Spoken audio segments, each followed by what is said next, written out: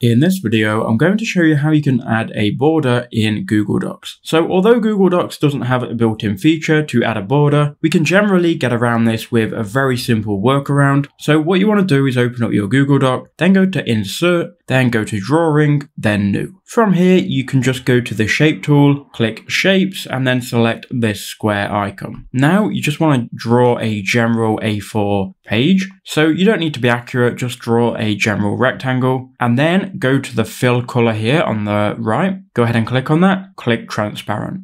Now you've got your border, you can go ahead and click on it and you've got the border color. So for the video, I'll just change it to a dark blue. You can also go to the border weight and change how thick you want the border to be, which is a nice feature. And once you're happy with that and it looks generally good, click save and close. That's going to add this border to your document. The first thing you want to do is click on it and then go ahead and go to this button where it's going to put the border behind the text. That's going to keep your document formatting okay. Now you can just go ahead and click on your border and now you can drag that border into the corner of the page and resize it. Now this can be fiddly, but just be patient and you can obviously make this bigger and we will just resize this here.